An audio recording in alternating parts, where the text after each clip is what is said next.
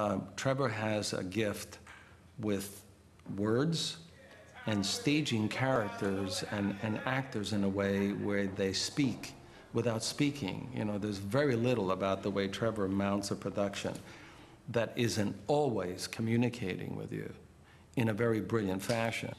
I think the great thing about Trevor is, is the process of discovery uh, that he has. He will walk into the first day of rehearsals with a huge amount of research and thought.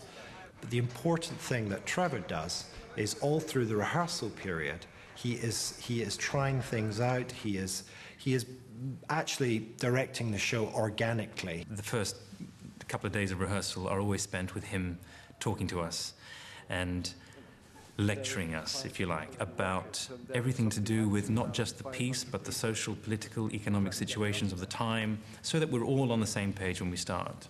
He is so detailed and so connected to every aspect of the production that to see it unfold and to watch it on the page and not quite know how this is going to work, but to be in rehearsal and to see him shape and pull and prod and to see the story unfold actually before your eyes is what I find amazing.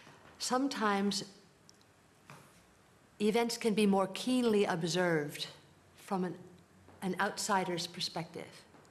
And so I thought with myself as the writer and, and Trevor as the director, we would get an inside outside uh, situation going, and it might be beneficial to the whole. And I think really that's what, what we found. It's been just great fun working with Trevor, just complete joy and a delight.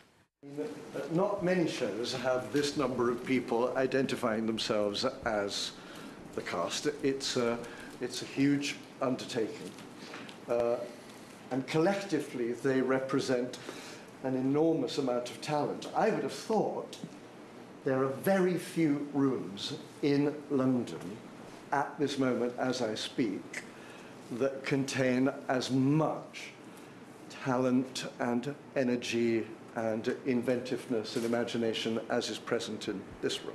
What's amazing is amongst all this chaos as we were putting this production together, he's able to sit at his table and imagine the entire thing, which is not a talent that I have. All I can see is what's right in front of me.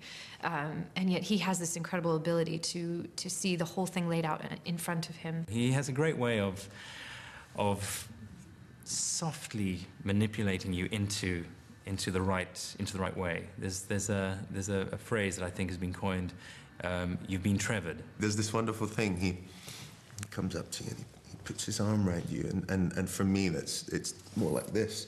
But uh, he puts his arm around you, and, and um, he starts telling you a story. He says, I, I have this idea, and, and uh, it takes your imagination off somewhere, and then he leaves you at this point where you actually find that you're improvising.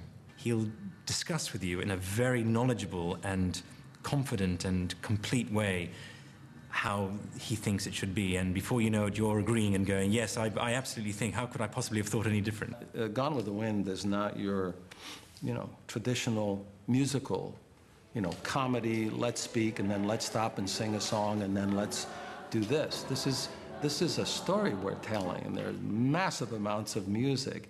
And this is where Trevor is at his best, is to make a complete experience for, for the patron.